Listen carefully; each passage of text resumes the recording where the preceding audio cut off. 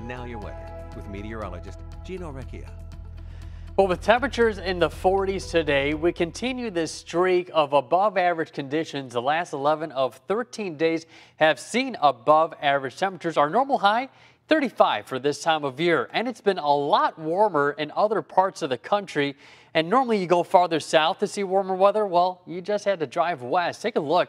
Anywhere from 25 to 30 degrees above normal for this time of year in the northern plains. We had parts of the northern plains, Rapid City, 70 degrees this afternoon. That's that warmer trend that's going to be heading in our way. And we'll be seeing some 60s as early as Tuesday. Beautiful start to the day. Lots of sunshine out there.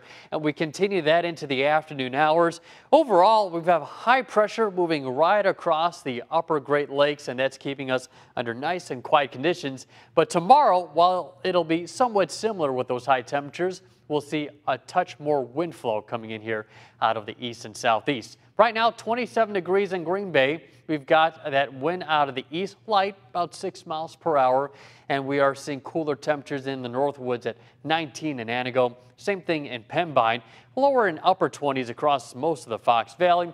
A little warmer right now in Kewaunee, they're at 31. Ephraim holding on to 20 degrees right now.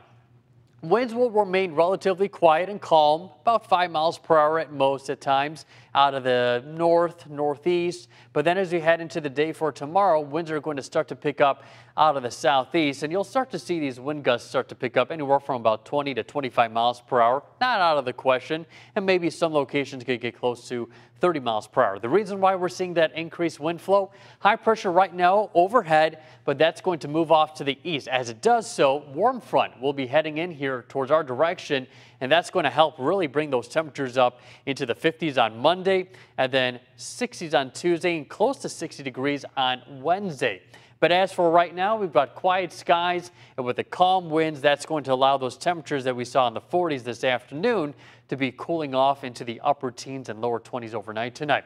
As we wake up tomorrow morning, could have some mid and high level cloud cover passing through, but we'll have mostly sunny skies overall. As we get towards Monday, however, it looks like some dense fog could develop. So as you're waking up and heading to work on Monday morning, watch out for some lower visibilities. But then we should be seeing clearing skies, a filter of some mid and high level cloud cover.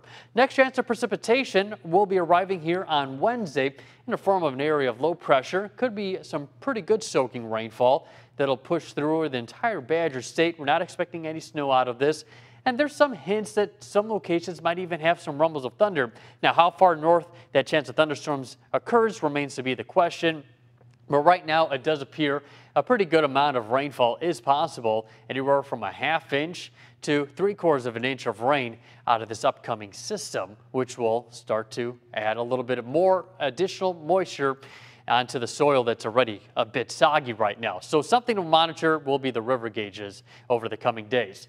19 degrees with fair skies overnight tonight. As we get into tomorrow, we'll get up to high of 45 with mostly sunny to partly cloudy skies.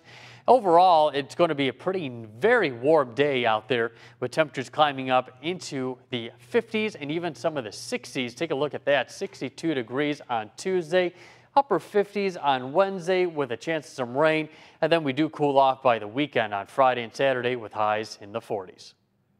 All right, thanks, Gino. Well, coming up on NBC 26,